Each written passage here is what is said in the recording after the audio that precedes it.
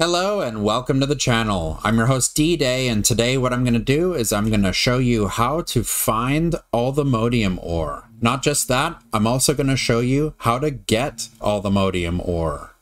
And I know both of those terms are exactly the same, but if you're a YouTuber, then you know exactly what joke I'm talking about. Since we found netherite and the netherite smithing template in a previous episode, what we got to do now is we have to find Allthemodium ore, and this is specifically for all the mods 9.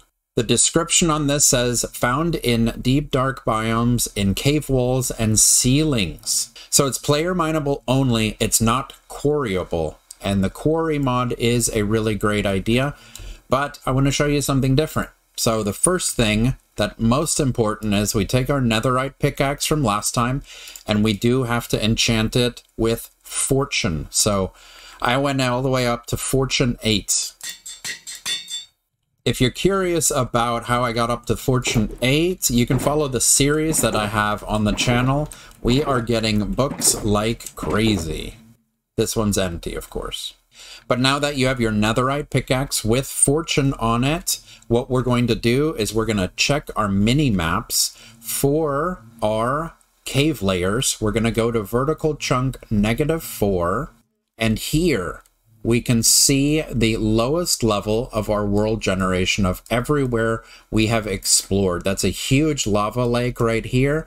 And what we're looking for is something like this right here in the middle. If you highlight over it, in the bottom, it says what type of region this is and what block you're on.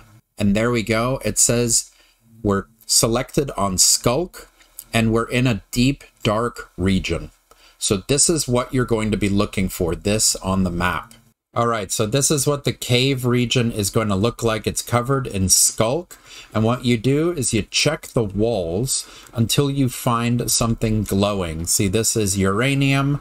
We probably have uranium under that. And this is what I'm looking for right here. This guy right here.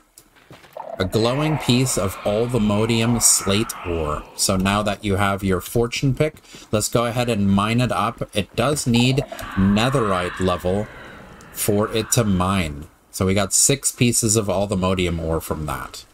So now that we're back home, we'll go ahead and join Geoff and Beoff here, and we will make ourselves an Allthemodium charm before we waste these pieces.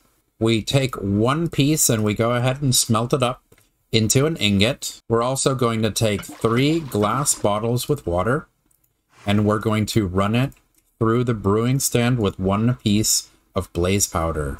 While we're doing this, the recipe for the mortar and pestle from Potions Master is bricks around stone and nether quartz on top of a diamond. Now we need to take our pestle and mortar and an ender pearl to make ender powder, grab our Allthemodium ingot, and combine our ender powder, mortar, pestle, and Allthemodium ingot to make Allthemodium powder. Now that you have Allthemodium powder, you need to run it through the furnace one more time to cook it. That turns it into the calcinated Allthemodium powder, which now with your brewing stand that has the mundane potions in it, you can put these through to turn these three mundane potions into Allthemodium sight. There you go. And before you use these individual drinks, what I would highly recommend is taking your blaze powder and turning these guys into the charm that you can turn on and off. Now what's really great is we can head back to the same exact place we mined the Allthemodium. We can turn on our Allthemodium charm and see through the walls for more Allthemodium to mine. There we go. We got four pieces down there. We got two pieces all the way up here. Another two pieces hiding on the wall over here. There we go. We got some more right here too. And what's great about the charm is you can turn it on and off.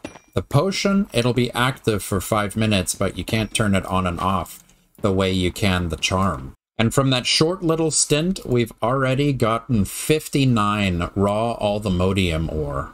If you make an ore hammer, you'll be able to double it as well. So we got almost two stacks of Allthemodium dust, and we only need one of these to make another charm. And before I let you guys go, now we can make some really cool things like the teleport pad with Allthemodium nuggets, as well as the structure compass with netherite and Allthemodium and a nature's compass. What's great about the structure compass is you can shift right click to find ourselves a new ancient city. And of course, don't forget the underscore for ancient city. Here we go, Minecraft ancient city, select, and it'll point us in the direction of the nearest ancient city. And it is 810 blocks in this direction. Very cool. The ancient city is going to be important for next episode. Next episode is going to be how to get the Allthemodium smithing template. But now that we have a teleport pad with an empty hand, we can shift right click and go to the mining dimension. And here I've already mined all the way down as far as we can go. But with our Allthemodium sight charm, now we can activate it and head down into the deepslate layer. The stone layer will have common ores and the deepslate layer will have the Allthemodium ore in it. And here we go. We're at the deepslate layer and we can already see Allthemodium with our Allthemodium sight charm. All of it ready for us to mine. There it is. And it's nice and bright for us. So if you enjoy content like this, be sure to hit subscribe and the bell to be notified when the new episode is up. Next episode, what we're going to go for is the Allthemodium smithing template.